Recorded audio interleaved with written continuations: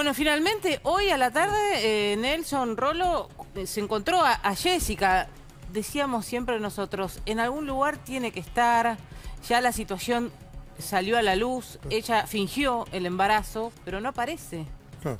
Por suerte apareció sana y salva, ¿no? Así es, hoy terminó una parte del misterio que es dónde estaba Jessica Cuevas, la mujer que decía estar embarazada de trillizos y que desapareció el lunes 29, hace 11 días, cuando supuestamente, según ella había dicho, tenía fecha de cesárea, una cesárea que nunca existió. Ahí estamos viendo cómo la acompañaba personal policial para retirarla del domicilio donde estaba escondida donde se cree que pasó por lo menos las últimas 24 horas.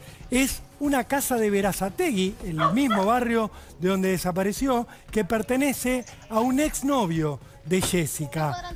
¿Cómo llegaron hasta allí los investigadores? Porque este hombre terminó llamando a la policía y diciéndoles, aquí en mi casa, desde hace 24 horas, está Jessica Cuevas, la mujer que ustedes están buscando. Ahí la vemos cómo se retira. No está embarazada Jessica. se ve. Por supuesto que lo que sigue ahora es una investigación que tiene que ver primero con terminar de aclarar si se fue por sus propios medios, que es lo que cree el fiscal Daniel Ichazo, pero por supuesto no puede dejarla ir sin más, sin investigar si pudo haber estado privada de la libertad en algún momento. Ellos venían siguiendo con cámara de seguridad y con el rastro de su tarjeta de SUBE los movimientos que habría hecho Jessica, que incluso la habrían traído a la capital federal. Ahora lo que están tratando de ver es cuáles fueron sus últimos pasos, por dónde anduvo, si estuvo todo el tiempo en la casa del novio, del exnovio, o si se movió. Este lugar que ustedes están viendo, que es donde estaba Jessica, queda a 20 cuadras de la casa de la mamá, del lugar donde se la vio por última vez aquella mañana del lunes 29, Domi. Si supuestamente ella se fue y fue un tema privado, digamos, donde no es que alguien, como vos decías, va a investigar si quiso privar de su libertad. ¿Hay algún delito o no se investiga nada? Esto queda ahí y se terminó.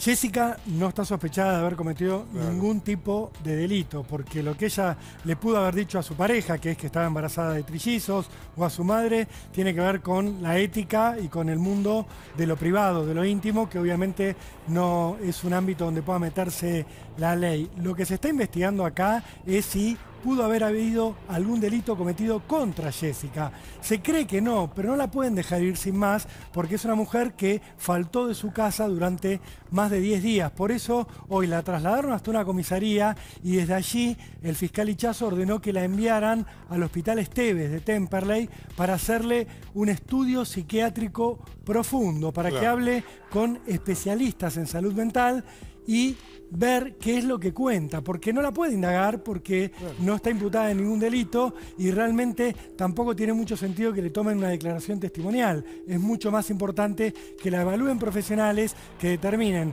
si ella actuó siempre por propia voluntad, sin intervención de terceros, en cuyo caso obviamente seguirá su casa sin ningún tipo de restricción. Ella no está detenida en este momento, solo le han pedido que se someta a estos estudios psiquiátricos. Había versiones que decían que en la comisaría tuvo algún tipo de ataque, algún tipo de brote que puede tener que ver con tener que enfrentar finalmente a su pareja, a su madre, a sus amigas. Recuerden que en el celular de Jessica, que quedó en la casa de la madre, había mensajes donde incluso le decía a sus amistades, estoy esperando el momento de la cesárea, voy a tener trillizos, estoy nervioso, o sea, es mucha la gente a la cual Jessica le habría mentido, lo digo en potencial, pero para los investigadores esto es una certeza legal. Ella mintió en su ámbito privado, pero no ha cometido ningún delito. La gran pregunta que es, ¿por qué hizo todo esto?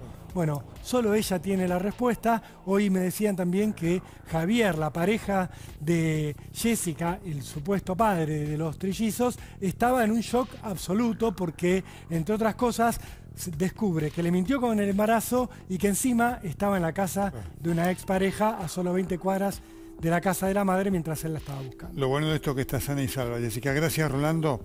Bueno, vamos a una cosa más linda.